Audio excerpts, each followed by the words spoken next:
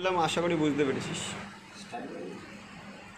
এইটা আগে ওই দিক থেকে নিতে কারণ করো এটা না, করো করো তুমি করো। কাটিং করবে পরে? বল। ঠিক আছে। বুঝব? ঠিক আছে।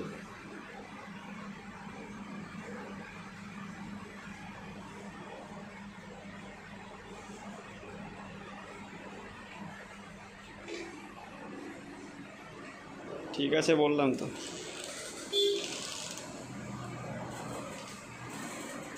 তোরও বাড়া এবি লাস্ট দিন তাহলে সেদিনকে। তোরও লাস্ট দিন যে সেদিনকে মিলিয়ে রাখিস।